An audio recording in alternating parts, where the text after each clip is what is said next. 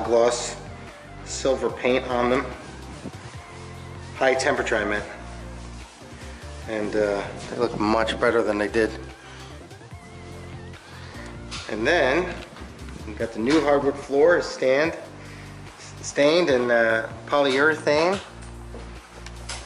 It's nice. The walls are painted. Kale is cleaning up. Hey, Kale.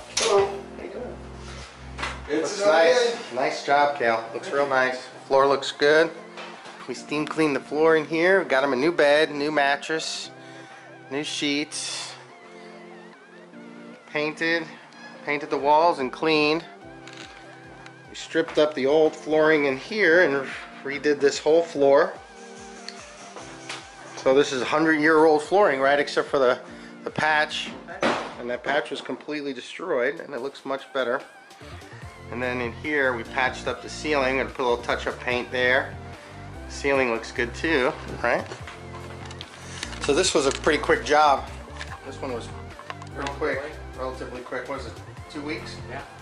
So it's pretty fast. I mean, we didn't do everything, but we did a lot of work with what we had here. It's not the same apartment. It's definitely not the same. It's much better than it was. It's a little bit cleaner.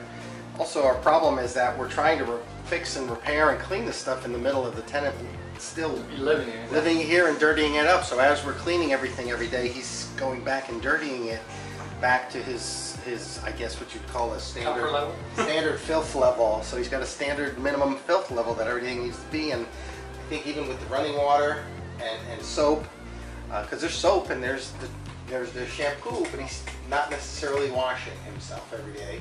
And- so the new sheets that we just bought him are, are dirty. And the bathroom's dirty. We wipe the bathroom down and it gets dirty the very next day. And we're not maid service. You know, we're trying to help out. You know. You, you mentioned that uh, the tub. I was like, oh, tub for you can use this, no problem. He's like, oh, I, I can wait till Tuesday. This is like on Friday. Right. So even though the tub is ready to use for days, he hasn't taken a bath in days, and that's not really that's not our fault, but it's still pretty gross. So Really gross. really gross. All right. Well, and then one last thing is that we also, while we did it, we did the hallway out here, so this floor looks great too.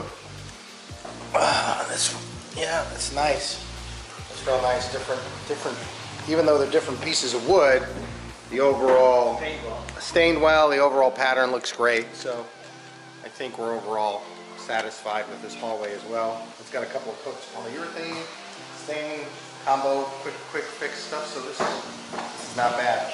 All right, well, this is a good apartment. I think we're pretty much done in here. A couple little things to tidy up, and then this apartment's ready to go. Okay.